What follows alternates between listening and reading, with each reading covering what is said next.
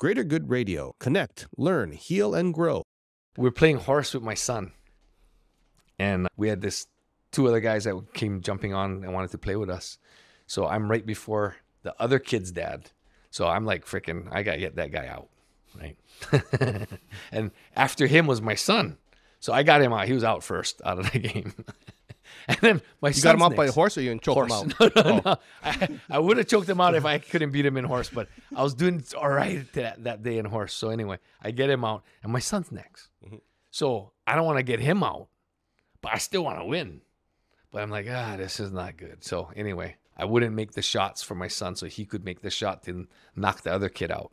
So he does. He knocks the other kid out, and then he knocks me out, right?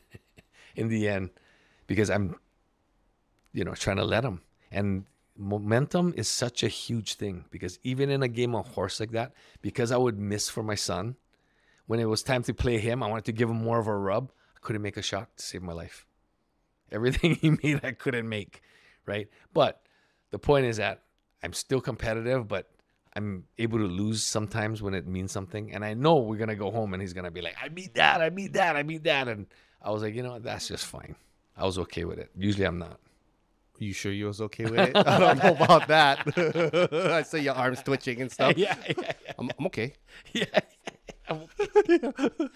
That's an interesting one because that internal like polarization uh, goes almost against your whole Oh, yeah. being. Oh, yeah. Which is like I'm not going to just give you free points for no reason. I'm not gonna give you free praise for any reason. I'm not going to give you praise period because not go- not going to hurt you, yeah, yeah, right? And why you going to get it if I never get it? Yeah. And so you know what I mean? How are you reconciling that? So the part where you're saying where I didn't get it, so you're not gonna get it, that's where I decided to just break that chain. Like When when I had my son, so my older daughters, they got the wrath. The poor, I mean, so bad. I, I, I apologize to them till today. And I know they got issues because I was like that, right? Just too hard. And they always say girls soften you, which it kind of did. I had four girls before my son. So my son's really lucky because by the time I got to him, I'm like, I ain't going to do what my family did to me.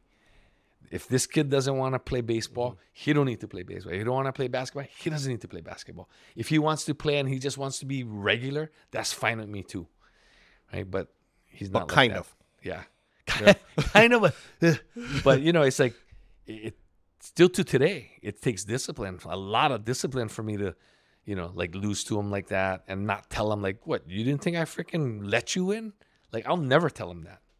But I know as time goes on, he's like, I think dad let me win, which is fine with me.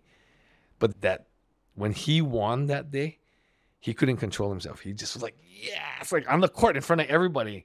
And so I kind of told him, hey, Jet, when you win, you don't have to be like that. yeah, but dad, but it was such a like such a good emotion that it was okay for him to do it at that moment, but maybe not from now on, because how do you think that kid felt? That, and how about his dad? You got to think about that too, right? And How I've about you? always kind of been like that. And then how about for you, right? Because it's like you gave him, and now he's oh, you brought up. oh, I gave him a freebie. yeah, yeah. You will get it now. yeah. Play Like, again. For, for me, it was like it's weird because I thought he was so cute that I was like, ah, me losing to him was worth it. You know, it's really weird because that's not me. Like you know, that's not me. But it was for real me. I was like, oh, frick, I'm so stoked that he won. You know.